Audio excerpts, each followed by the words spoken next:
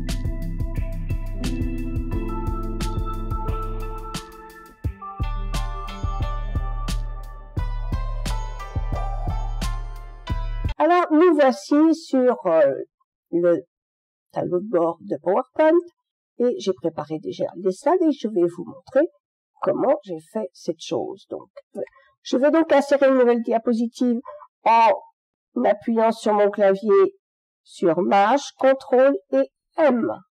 Et me voilà avec une nouvelle diapositive. Donc là, qu'est-ce que j'ai fait? J'ai simplement inséré un graphique et j'ai choisi un graphique normal, mais qui soit quand même en 3D. Je l'ai donc inséré dans ma diapositive. Là, on a le, le, fichier Excel, quoi, de ce que l'on a dans le graphique.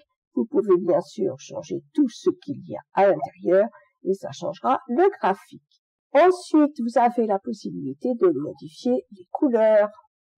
Vous voyez, vous avez celle-ci, celle-ci, celle-ci ou celle-ci. Allez, je sais pas lesquelles prendre. On prend celle-ci. Et on a aussi le choix de mettre de différentes façons, avec un graphique comme ça derrière, ou des lignes normales, ou en noir. Moi, j'avais pris noir, là, pour une fois. On va prendre celui-ci. Alors, effectivement, euh, pour l'instant, ben, c'est pas animé, celui-ci. Donc, c'est quand même pas terrible, on voit, mais qu'est-ce que c'est euh, Voilà, même si on parle dessus, ça va pas être top top. Donc on va aller ajouter une animation à ce graphique et on va dire que l'on veut que ça apparaisse. Pourquoi apparaître? Parce que c'est le plus simple. Alors, volet d'animation. Et donc, en ouvrant le volet d'animation, on a donc notre graphique qui s'est affiché ici. En premier, il faut aller dans option d'effet, animation d'un graphique et choisir ce que l'on veut. Est-ce que l'on veut que ça s'affiche par série? À ce moment-là, toute la série 1 sera affichée d'un coup, puis la série 2 et la série 3. Par catégorie, c'est la même chose. Catégorie 1, catégorie 3, 2, catégorie 3, catégorie 4. Ou alors par élément, pour avoir chaque élément de la série ou pour avoir chaque élément de la catégorie. On va déjà commencer par les catégories. Et il faut pas oublier, il faut laisser cliquer, démarrer l'animation en dessinant l'arrière-plan du graphique. On va maintenant dans le minutage. Alors, comme le premier, je veux que ce soit avec le précédent, je mets avec le précédent et je mets OK. Et là, il va apparaître en dessous des petites flèches et dans les petites flèches, on va voir tous les graphiques qui vont être animés. Mais on va pas les laisser apparaître euh, d'un coup, sinon ça sert à rien. Regardez. Hop, ils apparaissent, c'est pas bon. Donc on va prendre tous les graphiques qui sont en dessous. Pour cela, on clique d'abord sur, pas le premier, hein, puisque le premier, il faut qu'il apparaisse tout seul. Après, on clique sur le second et on va jusqu'en bas.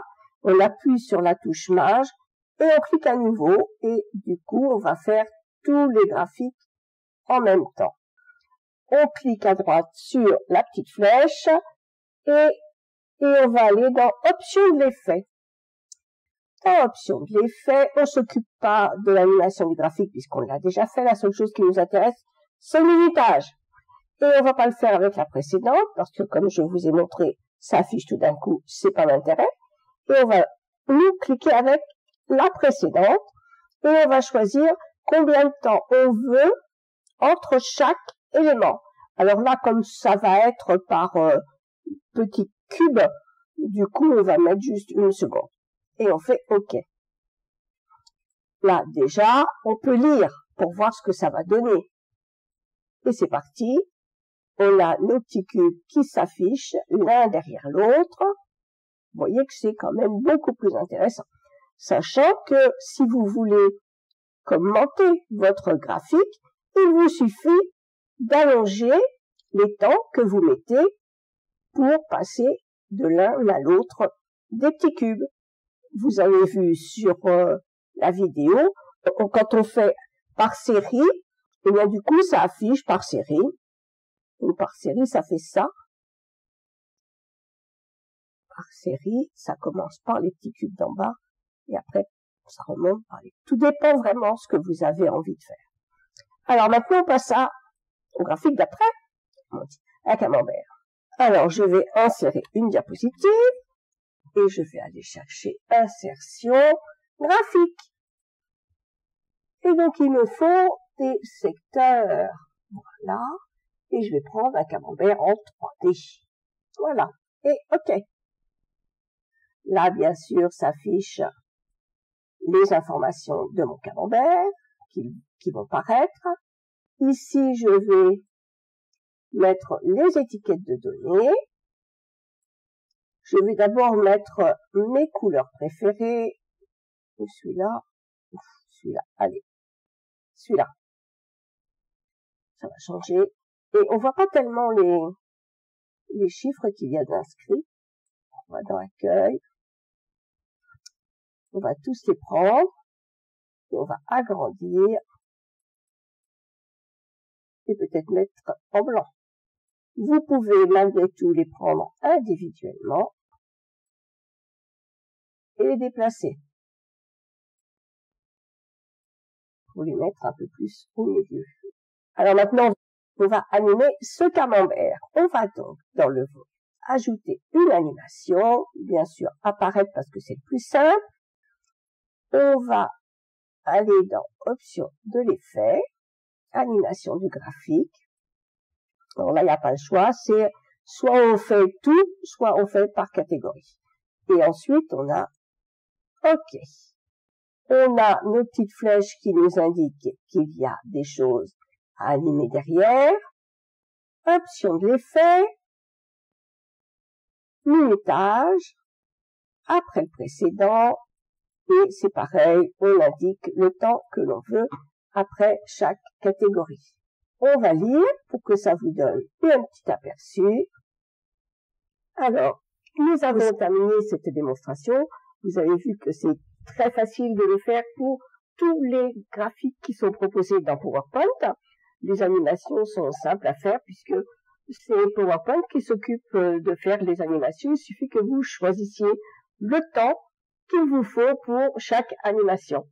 Je vous souhaite de faire de très beaux graphiques animés et on se retrouve dans la prochaine vidéo. À très vite